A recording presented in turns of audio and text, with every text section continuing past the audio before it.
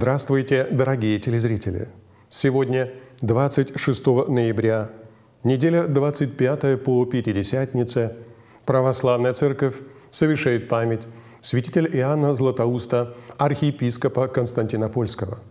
Святитель Иоанн Златоуст – один из трех вселенских святителей вместе со святителями Василием Великим и Григорием Богословом – Родился в Антиохии около 347 года в семье военачальника. Его отец Секунд умер вскоре после рождения сына. Мать Анфуса не стала более выходить замуж и отдала все силы воспитанию Иоанна. Юноша учился у лучших философов и риторов, рано обратился к углубленному изучению священного писания и молитвенному созерцанию – Святитель Милетий, епископ Антиохийский, полюбивший Иоанна как сына, наставил его в вере и в 367 году крестил.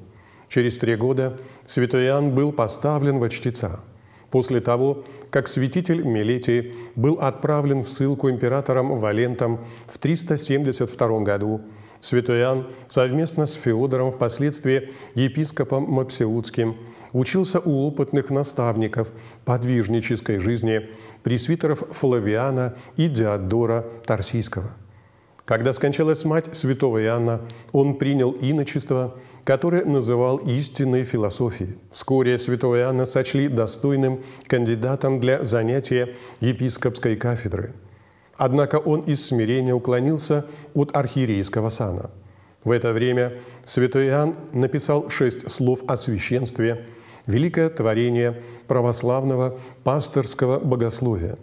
Четыре года провел святой в трудах пустыннического жительства, написав против вооружающихся на ищущих монашества и сравнение власти, богатства и преимуществ царских с истинным и христианским любомудрием монашеской жизни. Два года святой соблюдал полное безмолвие, находясь в уединенной пещере – для восстановления здоровья святой Иоанн должен был возвратиться в Антиохию. В 381 году епископ Милетий Антиохийский посвятил его в диакона.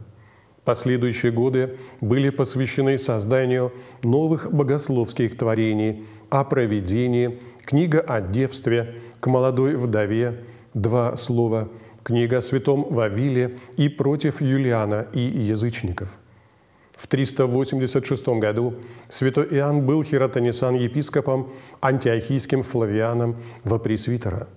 На него возложили обязанность проповедовать Слово Божие.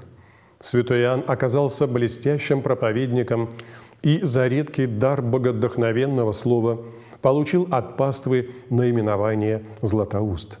12 лет святой при стечении народа, обычно дважды в неделю, а иногда ежедневно – проповедовал в храме, потрясая сердца слушателей. В пасторской ревности о наилучшем усвоении христианами священного писания святой Иоанн обратился к герменевтике, науке о толковании Слова Божия.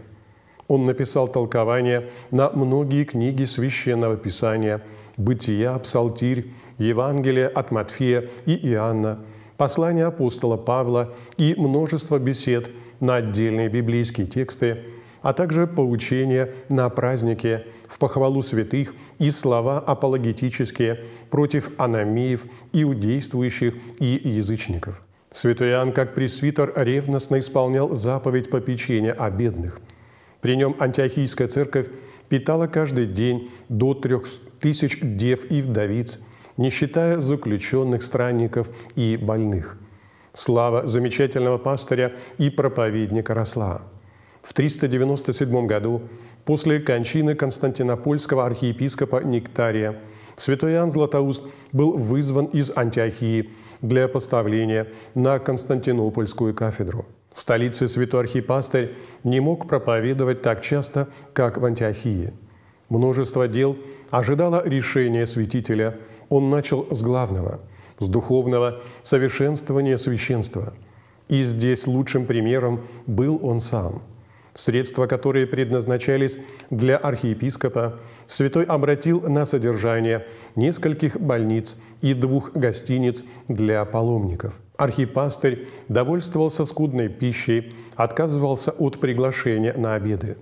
Ревность святителя к утверждению христианской веры распространялась не только на жителей Константинополя, но и на Фракию, включая славян и готов, Малую Азию и Понтийскую область. Им был поставлен епископ для церкви Боспора, находившейся в Крыму. Святой Иоанн направлял ревностных миссионеров в Финикию, Персию, к скифам, писал послания в Сирию – чтобы вернуть церкви маркианитов и добился этого. Много трудов положил святитель на устроение благолепного богослужения. Составил чин литургии, ввел антифонное пение за всеночным бдением, написал несколько молитв чина или освящения. Распущенность столичных нравов, особенно императорского двора, нашла в лице святителя нелицеприятного обличителя – в марте 404 года состоялся неправедный собор, постановивший изгнать святого Иоанна.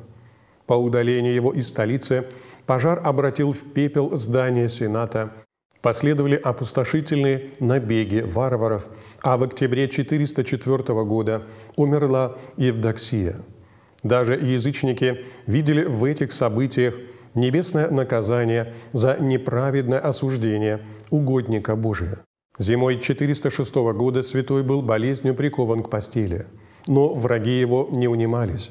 Из столицы пришел приказ перевести его в глухое пятну Спицунду, что в Абхазии. Истощенный болезнями святитель в сопровождении конвоя три месяца в дождь и зной совершал свой последний переход. В Каманах силы оставили его – у склепа святого Василиска, утешенный явлением мученика, не унывай, брат Иоанн, завтра мы будем вместе, причастившись святых тайн, вселенских святитель со словами «Слава Богу за все» отошел ко Господу 14 сентября 407 года.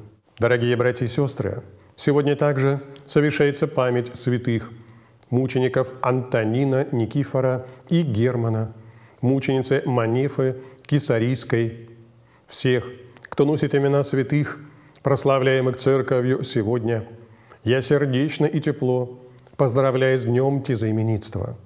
Будьте Богом хранимы, многое вам и благая лето.